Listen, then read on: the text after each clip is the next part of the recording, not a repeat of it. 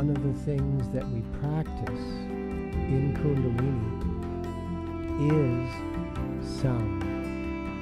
How do we use sound to enable our physical instrument to be able to resonate with the contributing field that surrounds everything. How can that contributing field, which contains all of the information that we need, how can we absorb and translate that information into our navigation so that we can be successful in each moment?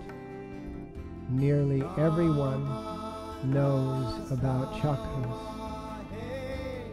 And even the chakras being different colors, the chakras are also different tones. From the lowest tone of C sharp sharp to the highest tone of a uh, of a B sharp sharp.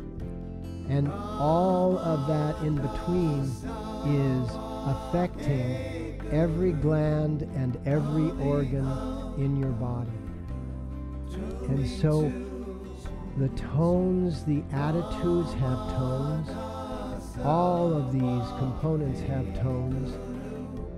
Whatever your attitude, whatever your words, whatever you're practicing can be concentrated into a daily routine that you can set aside some time so that you can then focus your physical body, your emotional body, and your mental bodies, the three brains plus all of the facets of those, into being very clear and able to navigate the moments. It's like all of the equipment on a ship.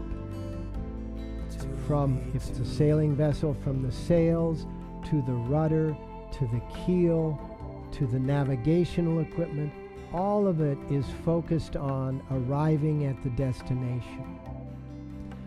This is translated into our physiology through the chakra system, which is then coming from, as I said, that informational field that surrounds each and every one of us.